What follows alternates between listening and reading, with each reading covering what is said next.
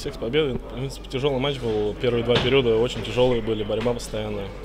Приходилось постоянно бороться, стычки вот эти постоянно. Так в третьем периоде вышли собранные, поэтому, наверное, Бог нас вознаградил за правильную игру. В третьем периоде нефтехимик побежал вперед, играли от обороны, грамотно поймали на контратак. Соперника эта тактика была? Ну, конечно, нам сказали, где-то может попроще сыграть, тем более счет как бы 2-0 был. Там где-то не надо было выдумывать, там просто играть на результат, поэтому сейчас. Сыграли на, ночь, на ноль в первый, первый матч в сезоне, это для оборонцев, для защитников вообще важно. Обсуждаете между собой такие моменты? Да нет, это не обсуждаем. Конечно, приятно то, что ноль пропустили. Как бы так особо этому значения не придаем. Как бы всегда стараешься пропускать там ноль или хотя бы одну там. Поэтому нет такого там какого-то ажиотажа, эйфории какой-то.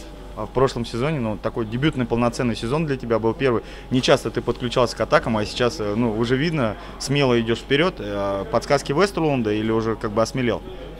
Да, наверное, я бы не сказал, конечно, что я много вперед веду. Ну, наверное, и тренерские как бы установки там э, все равно у нас немножко другая схема, поэтому, может быть, приходится там иногда, ну, оказываюсь впереди. Так, так что сам как бы я играю так же, я считаю, как играл. Может, чуть как бы поуверенней. А что скажешь о трибунах? Болельщики уже начинают подтягиваться на трибуну. Да, очень здорово, как шестой игрок. Еще бы хотелось, чтобы еще больше было, еще больше поддерживали. Так что приходите на наши игры.